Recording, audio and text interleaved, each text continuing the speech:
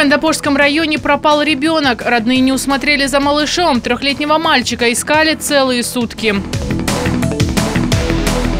Петрозаводчане проявляют активную гражданскую позицию, отстаивая не только бульвары и скверы, но и сараи для дров. Как нам объяснили, что наши вот старые сараи мешают строительству. Народный гнев выслушал наш дежурный по городу. И главный приз – мотоблок выручается все для дачи на удачу. Наши коллеги из ТВР Панорамы раздают призы. Кому повезло на этот раз? Вы смотрите новости на телеканале Ника Плюс. Студия Марина Кабатюк. Здравствуйте.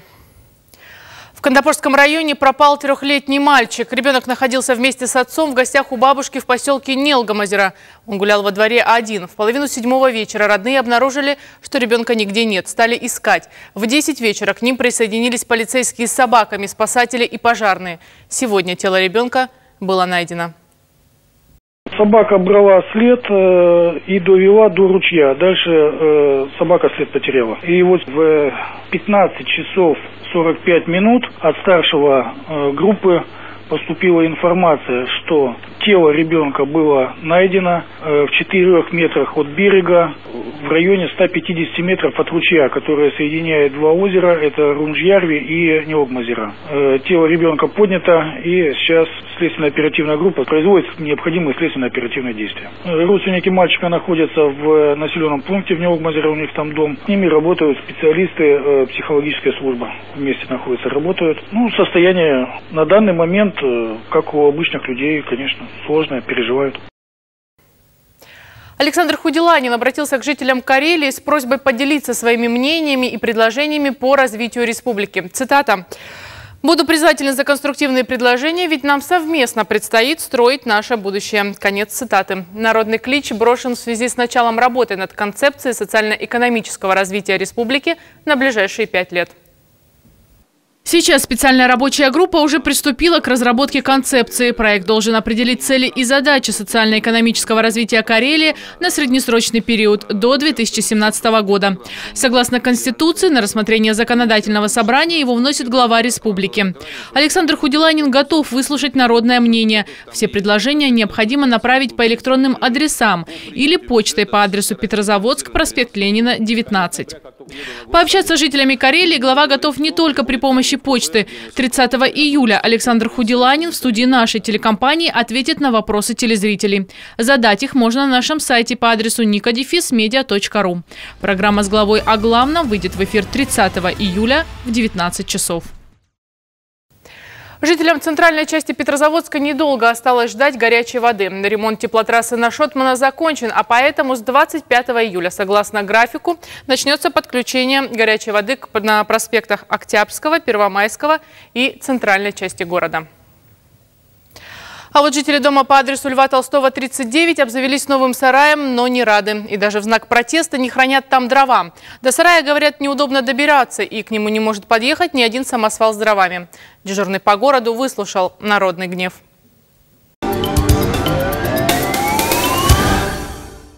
Хозяева еще пахнущие свежей древесиной постройки в гневе. Им новый сарай построили, а они не рады вовсе. Как нам объяснили, что наши вот старые сараи мешают строительству, Строят здание реабилитационного центра по соседству. Территория вокруг превратилась в зону стройплощадки. Мешал старый сарай, построили новый. Но он оказался хозяевам не мил. Строители забыли про подъездные пути. В итоге новая постройка утопает в буреломе и печалит жителей окрестных домов. А если вот представьте, привезут, например, одну или две машины дров, и это все надо за один-два дня убрать, то это очень тяжело.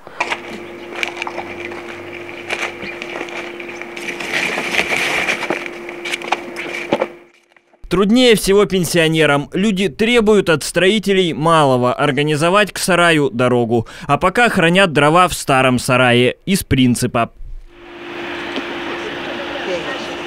Пока назарики борются за дорожки к сараю, в центре города привыкли к более масштабным акциям протеста. То бульвар отстаивают, то какие-нибудь исторические постройки. Однако намечающаяся свалка почти под окнами Карельского ФСБ пока никого не беспокоит. Наверное, еще недостаточно масштабно. Таким этот день увидели мы.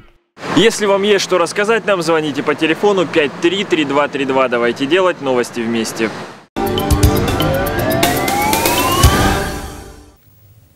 В Гирвасе состоялся четвертый автомотофестиваль. В нем приняли участие экипажи из городов Карелии, Петрозаводска, Контабаки, Костомукши, Сигежи, Сартовалы, а также гости из Москвы, Санкт-Петербурга и Финляндии.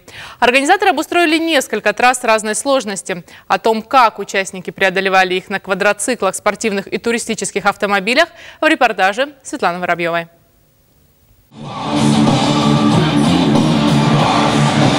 Сопровождение «Рамштайн» брутальные джипы, вылощенные городские внедорожники, квадроциклы и непритязательные уазики и нивы. У взрослых мужчин и их подруг игрушки побольше и подороже, но азарт у всех одинаков, даже у тех, что управляют такими маленькими джипиками. Получение удовольствия от того, что машина делает то, что ты просишь. В руках у водителя пульт управления. Мини-джипы покоряют трассу не хуже больших автомобилей. Главное – удовольствие и для участников, и для зрителей. Организаторы так и говорят. Здесь важнее всего эмоции, семейный отдых и дружеские отношения. Не обязательно стать чемпионом в нашем мероприятии. Нужно помогать друг другу. Нужно, чтобы э, люди просто не только занимались спортом, но и, в общем-то, отдыхали в том числе. Трасса «Лайт». Одни пилоты берут ее агрессивно, другие, как петрозаводчанин Александр, на городском джипе двухлетки китайского производства, мягко и деликатно.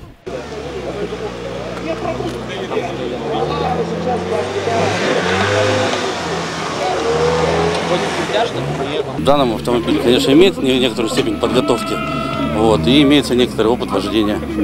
На трассе посложнее – экстрим и зрелищность. Пилоты из городских автоклубов Карелии. Также есть гости из столиц. Квадроциклы справляются с дистанцией минимум за две с небольшим минуты. Автомобилям требуется порядка трех минут. Сейчас на старт выходит экипаж из Костомукши, Ярви. Как у вас настрой?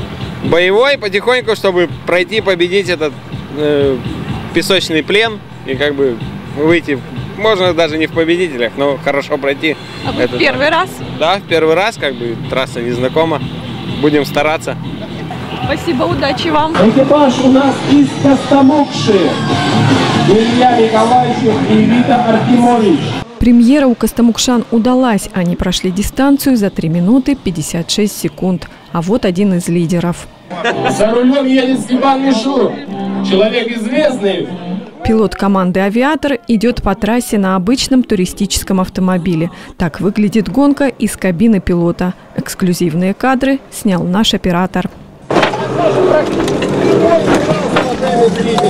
Дистанцию он прошел за 3 минуты 11 секунд. Автомотофестиваль в Гирвасе проходит уже в четвертый раз. И, по словам организаторов, пока он остается единственным некоммерческим в Карелии автомобильным шоу такого масштаба. Светлана Воробьева, Александр Борисов, телеканал Ника Плюс. Вы смотрите новости, и мы продолжаем. Закончилась основная подписка на газету ТВР «Панорама» на второе полугодие 2012 года. По традиции среди подписчиков разыграли призы от партнера редакции – нового дисконт-центра «Удобный сад». И это как нельзя кстати, ведь среди подписчиков ТВР «Панорамы» много владельцев садовых участков. Для участия в розыгрыше необходимо было оформить подписку и вырезать купон из газеты ТВР «Панорама» и прислать его в редакцию. Писем пришло много, ведь призы стоили того. Их предоставил дисконт-центр-магазин «Удобный сад». Первой победительницей стала петрозаводчанка Татьяна Павлова. Приводить в порядок свой участок с новой газонокосилкой теперь ей будет намного проще. Другие призы отправятся за пределы Петрозаводска. Насосная станция. Ее получает